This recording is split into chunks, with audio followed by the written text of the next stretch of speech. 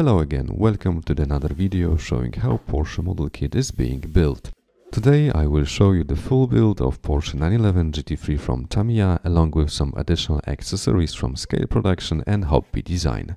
I have also finally managed to use one metal sticker from ZoomOn model set. The kit itself includes parts which allow you to build a GT3 or a regular 911, the 996 model. I have chosen to go with the first option as the second one is going to be my next project.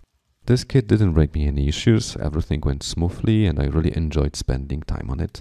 There was maybe only one thing which was a bit tricky, as there is no masking set for windows included, so it took me some hours to make it on my own. Well, idea for this project was to make this car more detailed comparing to my previous builds, so I paid attention to the interior, focusing on the seat belts, and focus more on the way how exhaust looks like. At the end I think it doesn't look so bad.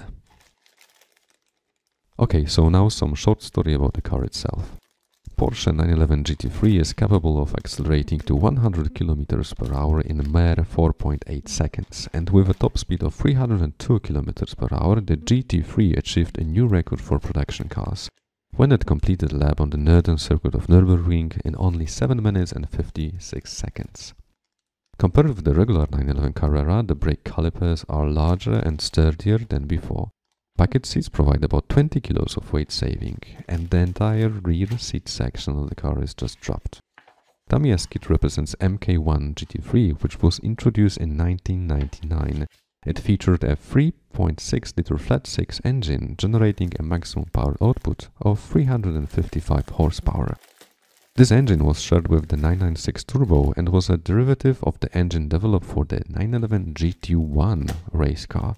It sounds great, it drives great, at least that's what you can find reading some articles on the internet. Okay, so that's it. Thanks for every like and every support given. Have a really nice time watching this video. Cheers!